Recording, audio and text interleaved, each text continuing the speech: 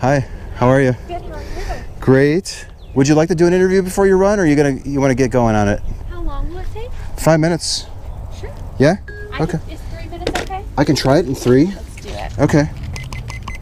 Let's do three. Are you okay if I record it? Yeah, that's fine. Okay. I'm Anthony. Hi, Anthony. What's your name? Nice to meet you. Nice to meet you. Is it the traditional spelling of it? E M I L Y. Okay. What is this for? I have a hobby where I'm doing something called street epistemology, Okay, cool. and I investigate beliefs that people think are true. Okay. Can I? I'm gonna just throw this camera on me. Sure. Okay. So people can get two views. Okay, cool. So three minutes. Sure. What belief do you have that you really think is true that we can explore by me asking questions to see how you concluded that it's actually true? I'm a Christian and Mm. I love Jesus. Okay. Yeah. Great. Great. Great. Yeah. Jesus. Um, what would you say is the main reason why you are sure that it's real? So, multiple things. I grew up in the church, and I originally thought that's why I thought it was real um, to walk with Jesus and to know Jesus.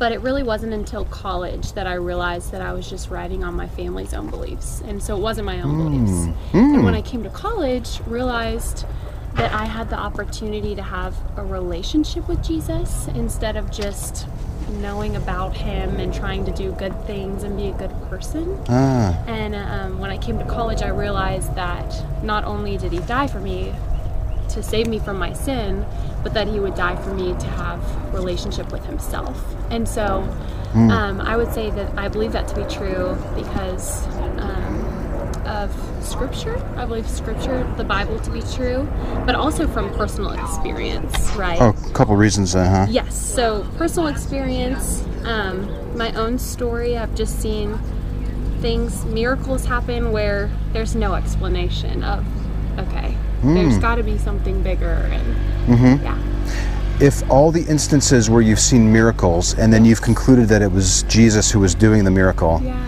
if all of those instances didn't happen, Mm-hmm. if you didn't have those personal experiences, would you be just as certain that the God was real?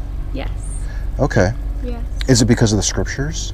Um, definitely scriptures. Um, um, definitely.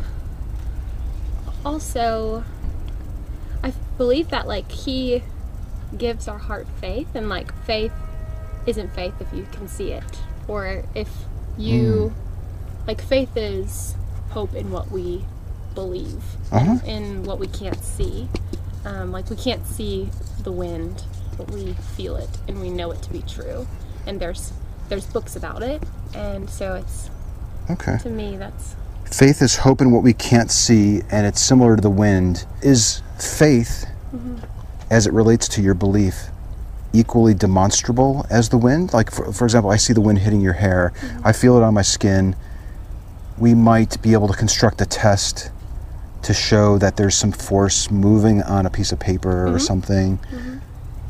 Are we able to detect and test faith as it relates to your certainty that this God is actually real? I believe so. I believe so. We can keep going. Okay, Yeah, thank you. yeah, Uh, that's fine with me. yeah. I believe so. And How, how could we how could we test this faith to see if it's leading you to the right conclusion? Yeah. Um, well, I mean, it's been tested in the past because Jesus existed, like, he was on earth like 2,000 years ago. And so when he rose from the grave, he appeared um, to multiple people. He appeared to women when he rose from the grave. And then he, had, like, at the grave. And then he appeared to over 5,000 people. And so th- that to me is um, definitely proof that and, and that people would die for him. I wouldn't die for anything except for him. And um, So it says these things in the book in the scripture. yes, correct. Uh, why are you believing something written in a book? Is faith necessary to conclude that the things in the book are true? Are you hoping that the things in the book are true? I think you defined faith as hope. Um, yes, but I've also I've come to believe it as true, and so, um, yeah, for me, I definitely believe everything in the book to be true, Uh-huh. for sure. Do you? Uh, no. Yeah. No, no, because um, I would need more than a book saying something is Yeah. true.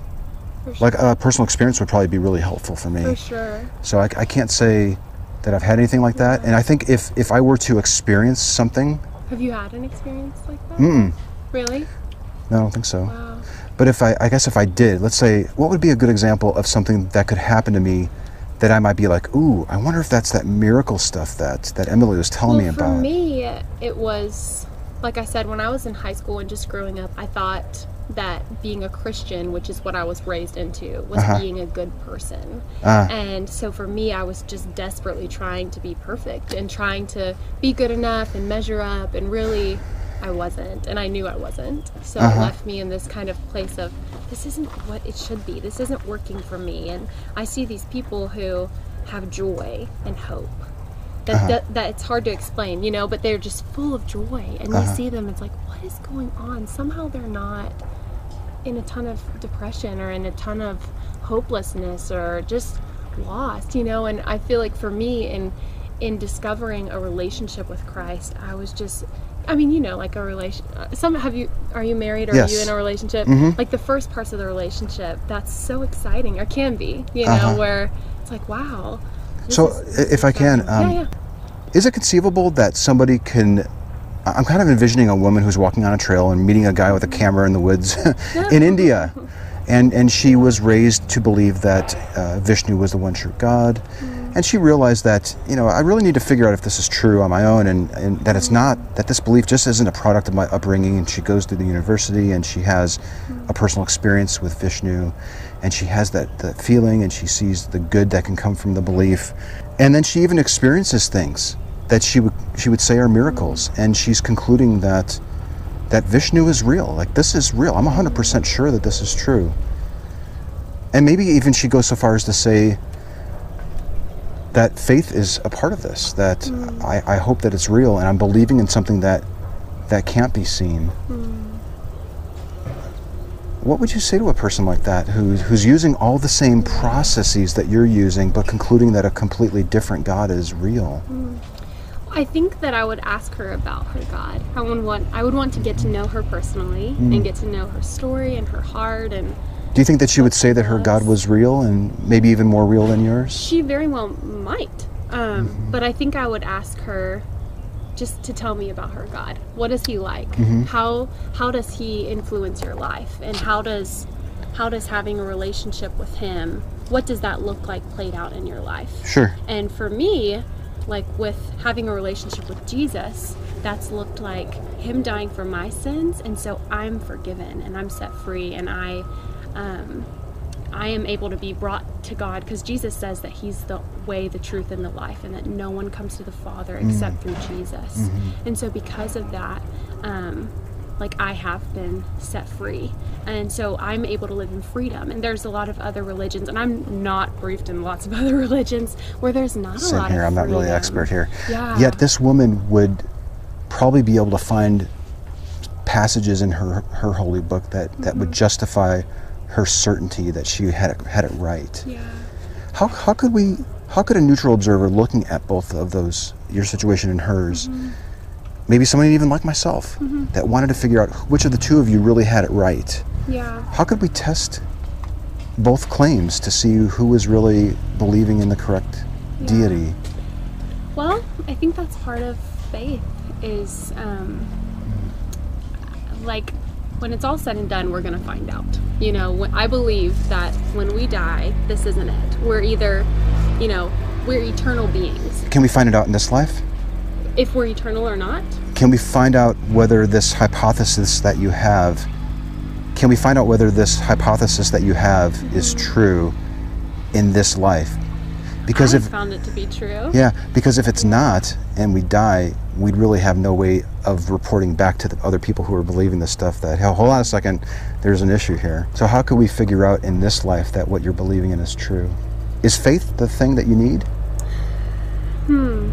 I think that's been the thing for me is placing my faith in Jesus and just the experience that I've had in response to that mm-hmm. and the freedom and the breakthrough in my own life. Um, and then even just encountering him and like the community that I've experienced, I've found in the church, like, um, well, there's lots of different church experiences of people who call themselves Christians, and then you hang out with them, and it's like, oh wow, this just it doesn't feel like what it should feel like if you're walking with God. If we were to um, really encounter that individual, Yeah. and she were to say, I understand that there are similarities here, but the the way that I'm concluding that I actually have it right and Vishnu is the one true God is that faith. I take it on faith that I've got it figured out. I have a dilemma here because now I see two people who are using the same method but arriving at a different conclusion. I can tell you the difference. Or what is thing. it? So what I'm Yeah. is the Holy Spirit. So with God, there's God the Father, there's God the Son, there's God the Holy Spirit. And when I entered into a relationship with Jesus and became a child of God, like God, and I'm using a lot of Christian language. I hope that's not like what's how, what are you saying? I'm following you. Um, I had the Holy Spirit, which is God Himself. So when Jesus rose from the dead, um, after He was crucified on the cross, He then sent the Holy Spirit to be with us as the helper, as the counselor, as the encourager, as the one with us. So when you encounter a true Christian, maybe, maybe not, maybe, maybe not, someone who you like the identifier of if someone is a child of God would be if they have the Holy Spirit in them. Hmm. So my hope and my prayer would be I don't know who else you're going to encounter or who else you're going to have an interview with, but that Yeah. I don't know if you see the Holy Spirit in me. Maybe you do, maybe you don't. I don't know. That's on him. But in that, like he, Jesus, while he was here, he did miracles. He was able to heal people. He brought people from death to life. He gave sight to the blind. He, It says this in the scriptures. Yes. Okay, so one last Yes. question. Sure. Okay, last question here, and then you can go on the trail. Yeah. Um, and thank you for staying extra. Appreciate it. So my question is, I- I'm, I'm really intrigued by this, the concept of the Holy Spirit. Yeah. Does a person have to incorporate faith in their belief in order to be sure that the Holy Spirit is a real thing? Well, I you could say the Holy Spirit is real. Well, you could be like, yeah, I think the Holy Spirit's real. But I think it would take faith. Yeah, I think. Hmm. I think the answer for me it took faith. But then also, I grew up in the church and I hadn't yet had a relationship with Jesus. I just knew a lot about God.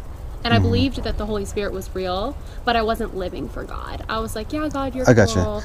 you. You believe that the Holy Spirit was real because you were taught it, but then now Yes. today, because you've gone through all these experiences and the journey, it sounds like what you're saying is that, the faith is what put the Holy Spirit inside of me. yeah, So now I'm able to live from the Holy Spirit Mm-hmm. and not from who I was. Like He's Mm. actively transforming me into the image of Christ. So daily, Okay. I'm becoming more and more like the picture of Jesus, who is God here as a human form 2,000 years ago, and less like me when I was trying to be this perfect, awesome person when I really wasn't. okay, You know? okay. I have one more question. Deal. Okay. what else is worth talking about, in my opinion? It's very important. Yeah. It's very important. So, you said something that kind of caught my attention that it seems like what you were saying is that faith is required in order to conclude that the Holy Spirit is even real and is putting these things, these ideas or these concepts in you or helping you figure things out. Mm-hmm. If faith wasn't available to you as an option, would you be holding this belief? What is life without faith? How miserable. well, I can't imagine life to be to be available without faith. If I didn't have Can I be more specific? Sure, sure. If believing in things that you can't see Okay. Wasn't available to you, I'm using your definition of it.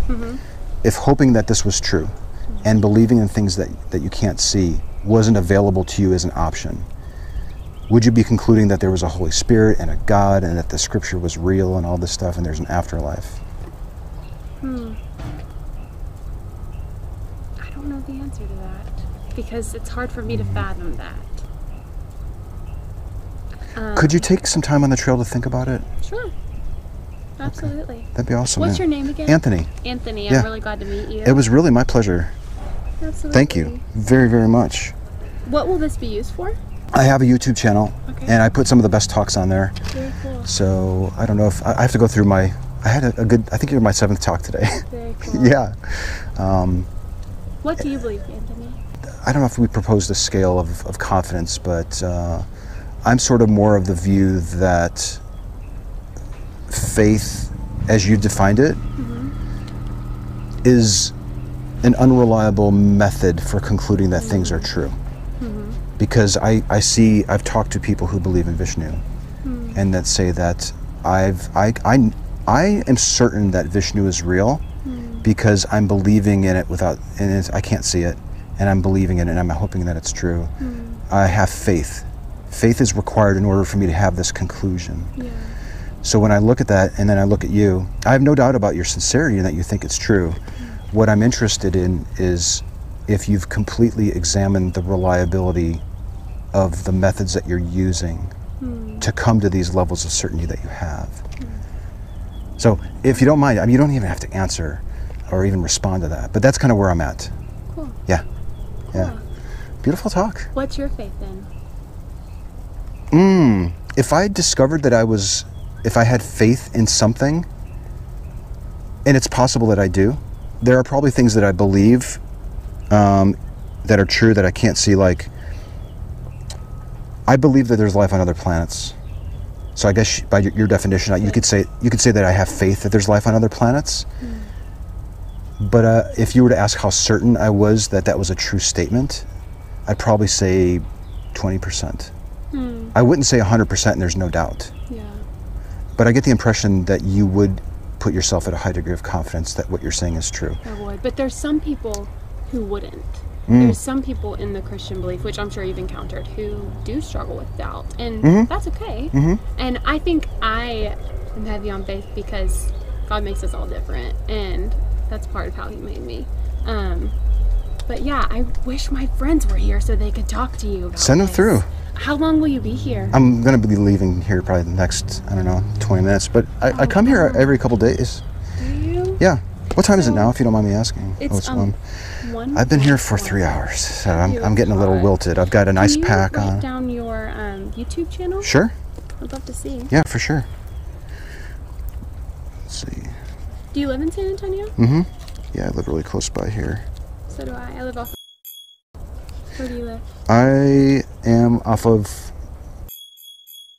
Okay, yeah. Yeah. And I love this spot because it's quiet and people usually have some time to chat. How fun. That's Magnabosco 210. That's my YouTube channel. Okay. So if you go, if you search for that on YouTube, you'll probably find my channels. You know what would be really cool is um, if you check out a couple of my videos where people who believe in different gods are saying that they believe that this is true because of faith. Yeah, I'd be happy. And it's just right here. Yeah, I'm, gonna- there's a guy that I, uh, there's a video that uh, two videos that I did here. Let's see. I think. I And think- it was here. no, this one was at UTSA. Huh. Did you go there? No, I volunteered there for campus ministry. I have so many. Yeah, I have so many friends that I would love to connect you with. So Kyle? You, Kyle? Redheaded guy, red beard. Oh, I'm sorry. CRU. CRU's different. CRU. Okay, Chi Alpha is another. I'm thinking Chi Alpha. Yeah, yeah, yeah. Chi, I'm sorry. I confuse people. Yeah, Kai, Kyle Are is Are you with searching for yourself, or you're just interested?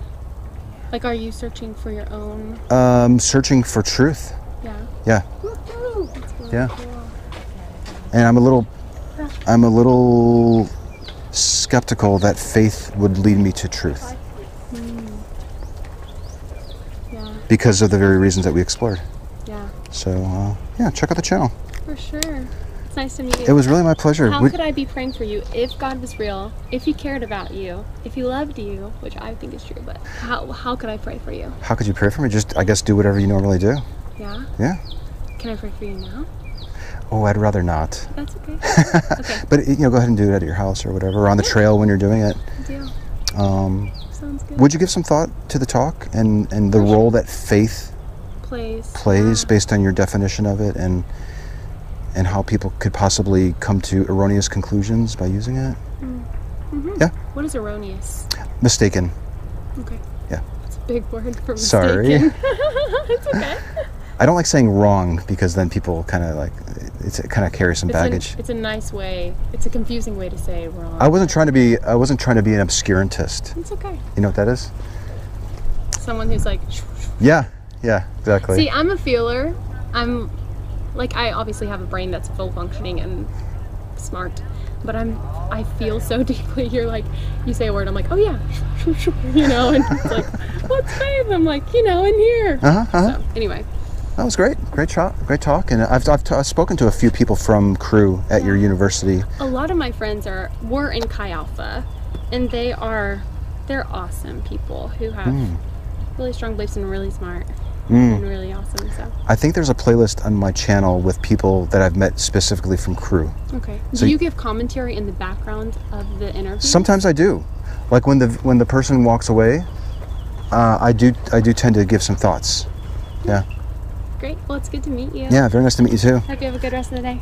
You as well. I hope you find the truth you're looking for. I do as well. Thank you. Absolutely. Bye bye. Bye.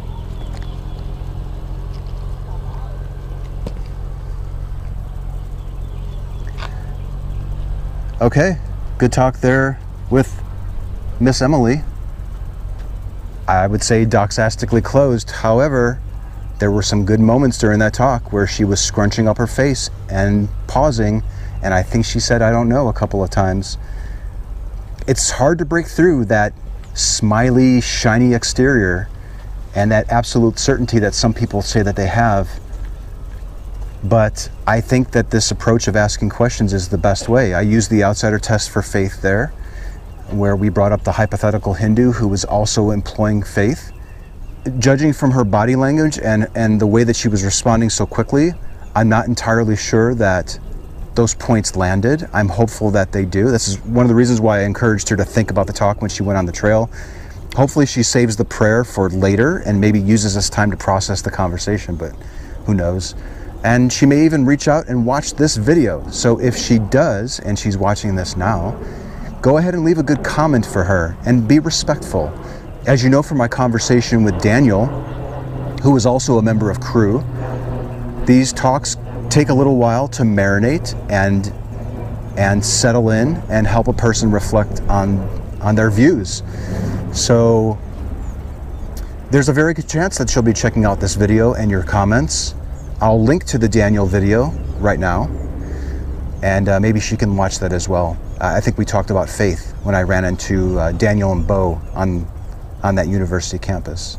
So this is a belief that's based on faith, and she defined the word. I went with her definition, and it became evident, at least to me, that this methodology that she's using seems to be a little suspect, quite frankly, because of the very hypothetical that I was providing with the Hindu woman.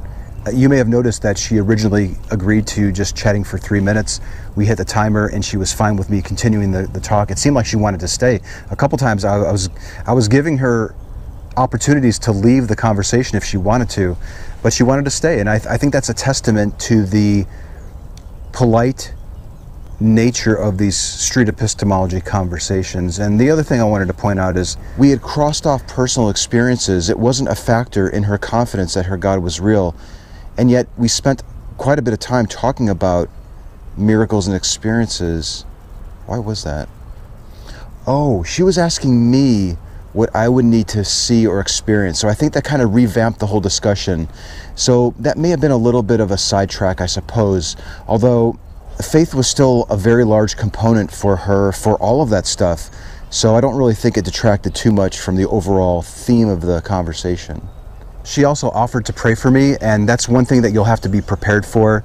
I really don't like participating in that stuff because I think it gives people the impression that I'm condoning and agreeing with what they're saying. I don't think it's it's it's not helpful in these conversations. She can pray all she wants when she's on the trail, and I hope she does it after she's had a chance to reflect on the belief. But I don't like encouraging that type of behavior. It also caught my attention when she asked if I talk about the conversation after the fact. It's kind of an odd thing to ask. Um, it makes me wonder if she's been watching my videos and maybe even wanted to have that conversation. I don't know, but that thought is going through my mind. And frankly, I hope she does go to my channel and check out the videos that I've uploaded, particularly ones where people are using faith to come to completely different conclusions. I think it would be helpful for her, and I'm not worried about her coming across those at all. I hope she does.